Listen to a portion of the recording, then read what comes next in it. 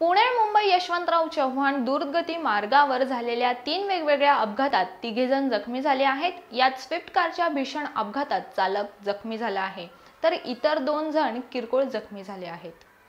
गहुंजे गावाच्या हद्दीत झालेल्या अपघातात पुणे मुंबई दूर्त मार्गावर स्विफ्ट गाडीवरील चालकाचे नियंत्रण सुटल्याने भीषण अपघात झाला. यात चालक गंभीर जखमी झाला आहे. त्याच्यावर खासगी रुग्णालयात उपचार सुरू आहेत. त्याच्याच व्यतिरिक्त गाडीत कोणी नसल्याने मोठी दुर्घटना टळली आहे.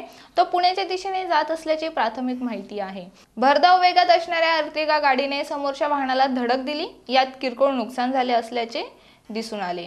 तर तिसऱ्या अपघातात होंडा सिटी गाडीने अज्ञात वाहनाला धडक दिली होती. यात दोघे जण किरकोळ जखमी असून त्यांच्यावरही खासगी रुग्णालयात उपचार सुरू आहे अशी माहिती पोलिसांनी दिली.